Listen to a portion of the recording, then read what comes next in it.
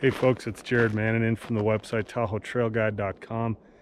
Today I am participating in the Christmas bird count here at Lake Tahoe. It's a annual event that's been going on since 1900. The main organizing body is the National Audubon Society and it's essentially the longest running and oldest citizen science project in the world, apparently. Pretty cool. So I'm out here counting birds. So both identifying species and then counting the actual number of species or actual number of birds within each species. And then we all bring that back to the leader of this particular Lake Tahoe based Christmas bird count. And then he sends it off to the national organization. So very exciting stuff. Uh, it's pretty quiet out here. I've only seen a couple of birds so far, so I don't know if I'm going to see anything super awesome or unique today, but it's still cool to be part of this citizen science project.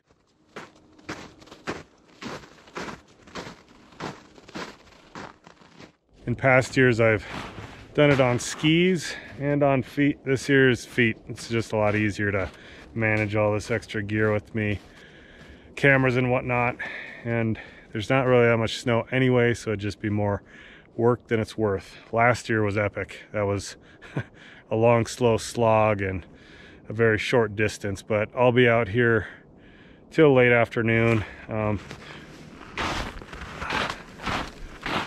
what's kind of nice about doing these bird counts is that my house falls within this 15 mile diameter circle and these circles are all over the country it's just one location and in a point in time and it just you know it's a snapshot of what's going on in the bird world. But my house lies within it so i get to walk from my front door and then just go visit a whole bunch of familiar terrain which is fine with me. It just makes things simpler. I don't have to learn a new location or anything like that. And i have some target birds that I'm going to be looking for specifically because I know historically they've been in these areas that I'm going through. Whether or not I find them, that's going to be another matter, but we're going to look for them. The origin of the bird count is that prior to 1900, somehow along the way, society decided, let's see how many birds we can shoot and kill on Christmas Day and turn it into a friendly competition.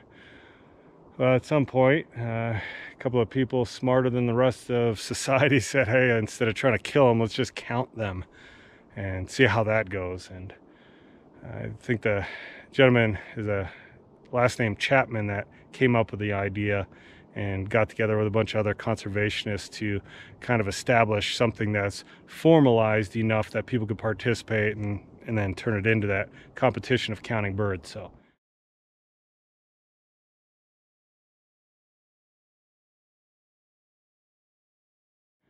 I'm glad for that. And, you know, since it's been around for now, this is the 124th year they've been doing it, it's provided a lot of data and research material for the long term as far as birds go. And just being a part of it, volunteering is a is a cool thing. But you do need to know what you're doing so that you can count accurately. So usually you get paired up with a quote unquote expert of sorts. I mean, whether or not I'd be considered an expert is neither here nor there, but I know enough to know what I'm looking at. And, and a lot of species I can identify by sound now, just because I've been birding pretty consistently for a number of years now. But I still like to take pictures just to make sure. And optics are always a good idea. So binoculars or a camera with a good zoom lens on are ideal to capture some usable identifying photos you don't always get good ones, but sometimes it's just enough. I'm also walking a zigzag pattern pattern in this area too. I want to find that great horned owl. I don't know if I will though. I haven't seen it in a number of weeks, so we'll see. In addition to walking zigzag patterns over a certain area of terrain, I also like to, you know, hike for 100 meters or so and then stop and listen even if you don't know what type of bird you're listening to, um, it indicates there's birds. So then you go pursue. And if you don't hear anything, you just carry on. Well, it's starting to pick up a little bit. I saw one of my target birds, and actually two of them, uh, American dippers. Super cute and fun, fun birds. I don't know how they can stand that cold water though. A couple of crossbills flowing, red crossbills uh, flying overhead. We've also seen some dark-eyed juncos and mountain chickadees, some Steller's jays. Pretty much standard fare for Tahoe, but they're, you know, year-round residents here, so it's nice to know that they're still around. Yeah, standing right here, found a couple of brown creepers, a few golden crown kinglets, and then some more mountain chickadees, which that was there. Uh, with this camera, I don't get really great print quality photos, and I'm not getting too many photos anyway, just because I gotta keep doing the miles and meet my friend later, so I'm not spending a whole lot of time, but these photos that I'm showing right now are photos that I've taken before of these of these birds. So you can at least see what I'm finding.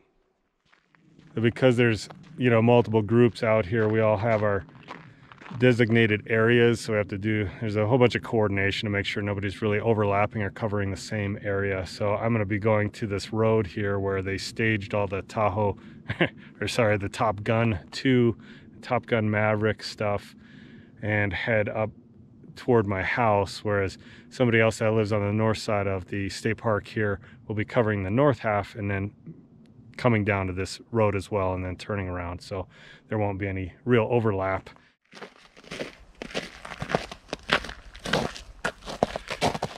I was just going to go over a little bit of the gear that I'm carrying today just because I know people ask it and when they see me walking around with this uh, massive looking cattle prod, which it's not, uh, they always wonder what it is. So I'll just describe to you what it is. Uh, just know also that I pay for all my own gear. I'm not sponsored or anything, so I'll use, I'll tell you the brands, but that's only so I can avoid having to answer those questions in the comments below.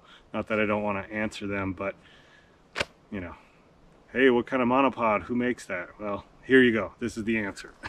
so this uh, monopod is made by a company called Three Legged Thing. They're out of the UK. It has um, like a, a, tripod foot to it. So it's actually stable enough that I can just do a quick mount. And I'm using a Nikon uh, Coolpix 1000. So a couple years old, but it's got that effective or that digital zoom out to 3000 millimeters. So it's a, it's a good one for birding. Like I said before, it doesn't take fantastic like print quality photos, but it's good enough for ID photos. And most of the time it's good enough for social media purposes as well. But if I'm just out birding and looking for uh, stuff in the distance, this is what I use instead of a spotting scope or a pair of binoculars or anything like that. And that's mostly so I don't have to carry all these different optics. And if I want, I can take a picture of of the uh, bird that I'm looking at rather than just looking at it and hoping I can remember what those field marks are. But anyway, what I do is I see something that needs stability because this is a very light camera and it zooms out so far. I'll just set this monopod up. It also has a really inexpensive gun mount for a monopod for shooting, but I just use it for shooting with my camera. So I can rest this on there, look, and it's mostly stable enough for uh, what I'm doing here as far as bird um, identification, documentation, that sort of thing. Again, this isn't the best mount for like my D500 with my 500 millimeter lens on it because that's that would be too wobbly on this so I'd want to set that up on an actual tripod but for this purpose I can just one-handed unlock set this up sight in and take a picture or video or whatever this carrier that I'm wearing is a cotton carrier. It's a brand name and you gotta set up a little locking nut on there and gives me hands free except I'm carrying this but if I wanted to I could use hiking poles or if I need to do some sort of scrambling I could totally do that because my hands are free but this is generally what I carry and then you know I got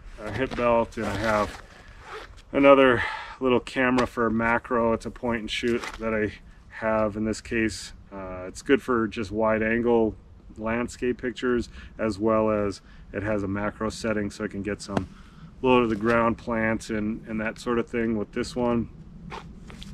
Um, yeah, I got another pocket zoom camera just in, in my pack just in case this fails and I got a phone in case that other one fails and this is the only camera I got left so I'm always carrying like three to five cameras wherever I'm going oh and the GoPro that's filming this so yeah it's a little bit excessive but you never know what happens and you hate to be without battery power or SD card footage that sort of thing so I just carry all this stuff with me just in case but I'm gonna close for now. I'll give some more footage as I go meet my friend Maria and we bird for the second half of the day, but I just need to keep moving on. So if you liked the video, give it a thumbs up. Please subscribe to my YouTube channel. Check out TahoeTrailGuide.com for more information about going outside in nature at Lake Tahoe and cross-country skiing, hiking, backpacking, snowshoeing. You know the deal. Thanks so much to all my Patreon subscribers, everyone who sends tips and gratuities via PayPal and Venmo. You guys are amazing. All my subscribers here on YouTube, people who like, comment. You guys are the best. Take care, man.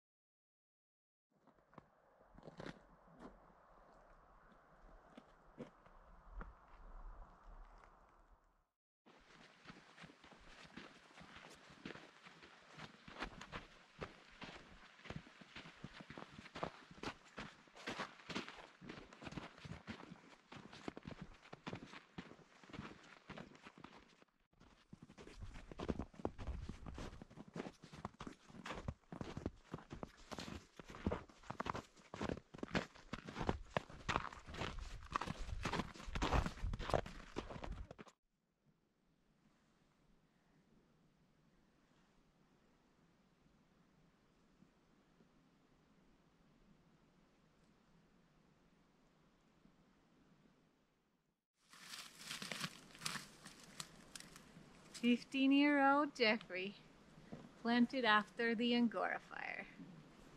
Way bigger than me now.